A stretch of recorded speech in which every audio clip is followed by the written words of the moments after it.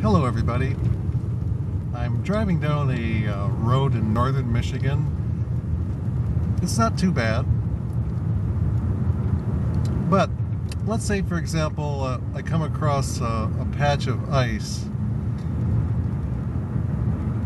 If I take my foot off the gas, that can cause the vehicle to skid.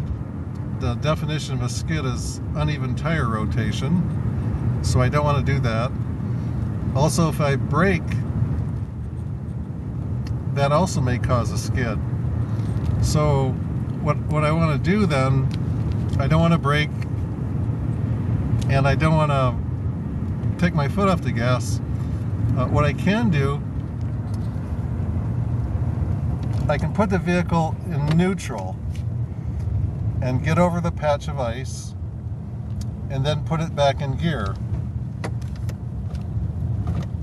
If I had a clutch vehicle with a manual transmission, I would press the clutch in until I got across the icy patch. Uh, this will do the same thing. So that's our tip for today. If you ever encounter ice while driving, uh, don't panic. Uh, you don't have to brake, you don't have to take your foot off the gas. Just put the vehicle in, into neutral or depress the clutch until you get across the patch. Thanks for listening. Please like or subscribe.